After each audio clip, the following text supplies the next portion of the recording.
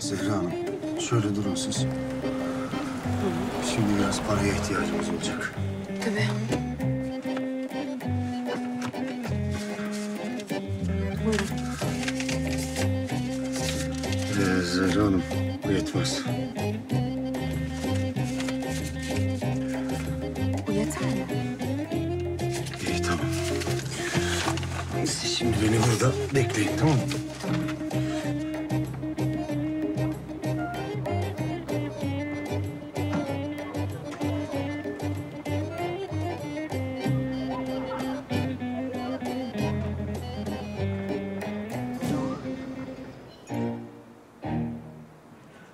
Anladın şimdi değil mi kardeşim? Bak olay akşamı ben barın önünde oturuyordum dersin. İşte bardan elleri kelepçeli bir adamla bir kadın çıktı. Bundan sonra koşmaya başladılar dersin.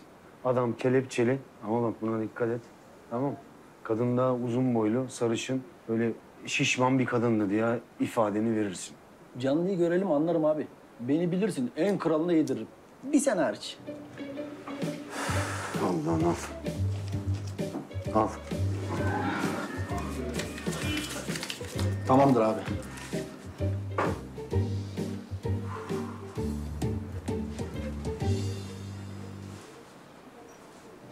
Dikkat et. Görüşürüz.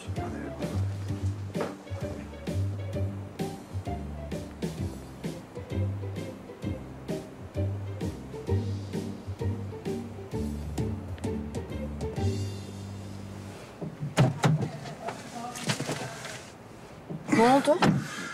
Tamam hallettik sayılır. İşe yarayacak mı? Yarayacak yarayacak merak etmeyin siz. E, bunu da hallettiğimize göre benim artık camiye gitmem lazım. Gidemezsiniz. Nasıl? Beni yalnız bırakamazsın.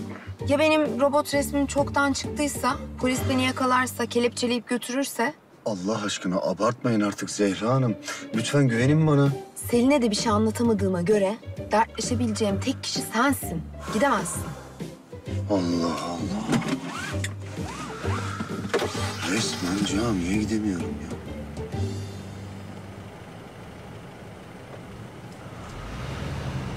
Gidecekmişmiş.